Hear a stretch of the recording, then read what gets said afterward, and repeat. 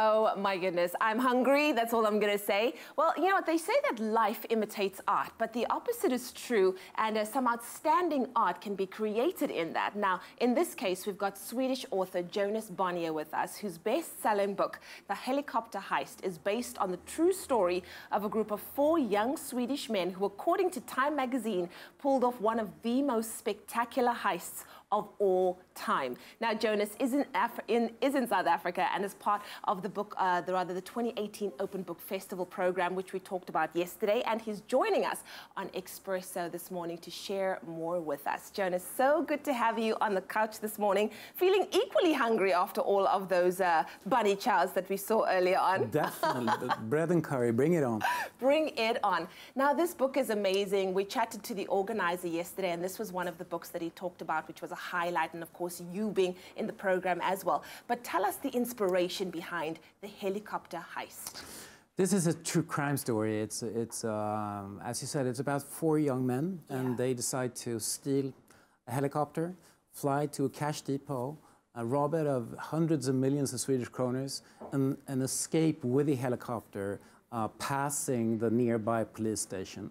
Uh, and the crazy thing is that they actually did it uh, in real life. And um, the story is amazing because the police found out about the plans, the robbers found out about the police knowing, and they still made it. So, they still uh, made it. Yeah. So there's no such thing as, they used to say there's no such thing as the perfect crime until these guys walked into well, the picture. Well, it was a perfect crime for a couple of months. Yeah. Then the police sort of found them and, and yeah. arrested them and they got sent to jail. But the money was never found, no. That's crazy. Now, you know what? We all read these things in the newspaper, we hear about these stories, but what does it take to bring it to life in a novel like you've just put together? Uh, first and foremost, I hope I brought his life. Uh, but uh, I, I, was, I, I, got to interview the robbers just mm. after they came out of prison and um, and try to understand, you know, the reasons for them, uh, why they didn't, how they thought about it, yeah. and I think that maybe try to make the characters as believable as possible. Uh, is the way to sort of bring a story like this to life. Absolutely. Now, um, congratulations on this next fact. I hear that the book has been picked up by a major video on demand service and it's going to be adapted into a movie starring Jake Gyllenhaal. Is that correct? That's, that's, what huge. I. That's what I've heard too. That's amazing. that's I love him, by the way. So the fact that he's going to be in it, I'm already there. I'm watching it already. I'm sort of. I saw with you. I, he's he's great. And, he's fantastic. Uh, yeah.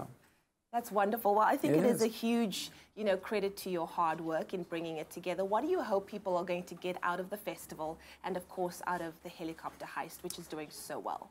I think the festival seems, I mean, the program is spectacular. There's so many yeah. things to, to listen to and see. And uh, it starts today and it's, uh, it's it's going on until Saturday, yeah. and um, no, this this just just so it's a vast program of things you, you want to listen to. So I love it. I'm excited about it. I'm definitely excited. I think we all need to go and check it out. Thank you so much, Jonas, for bringing for being here, for bringing this incredible work into our lives, and of course for that film, which hopefully will be made starring Jake Gyllenhaal. Yeah, thank you so, so much. So exciting. Thanks. Well, the Open Book Festival starts today and runs up until the 9th of September at various venues in and around the Fugard Theatre. You'll be able to catch and engage with Jonas at a couple of the events on the 2018 program. So for all the information on the events and, of course, the purchase of tickets, you can make sure to head over, open, over to openbookfestival.co.za.